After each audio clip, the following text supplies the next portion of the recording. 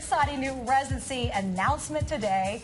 They performed for everyone from President Obama to the Queen of England. And now they're about to perform for a new Vegas show on the Strip.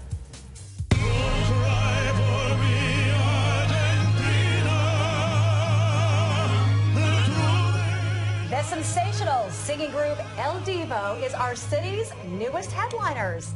The announcement was just made this afternoon at the Venetian.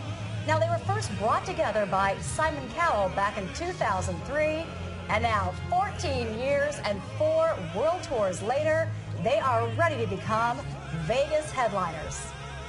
I think it's just an absolute perfect match, and we're very, very excited that finally we've been given this chance to do a little residency here in Vegas, and we're very, very much looking forward to it. It's a bit like dating a woman that you really like, and every time you come, it's just too short. You want to get to know her better, right? And that's what it feels like. We're going to have the opportunity to spend time in Vegas and get to know her. Those two. I, I found it very exciting. I kind of like that. It's a little romantic analogy with our city.